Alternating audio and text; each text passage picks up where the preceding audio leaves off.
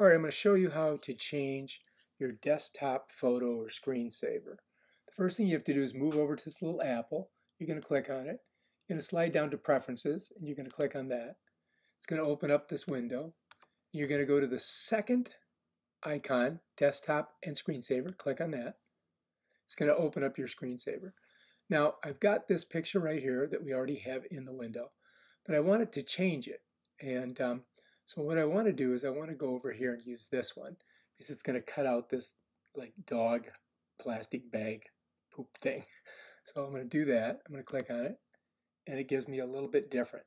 Now if I wanted to add a photo into these folders, see I've only got you know a couple photos in here. If I want to do this one, I could do that one. If I want to do this one, you see that. If I want to do that one, it could go there. You know, but um, this is the one I really want to keep. You want a photo out of, let's say, Lightroom, let's go ahead and click on this. And let's go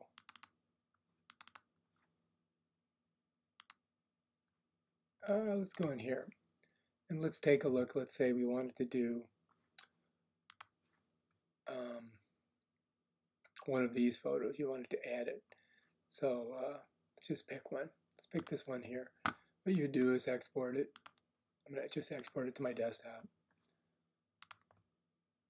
All right, so now it's on the desktop.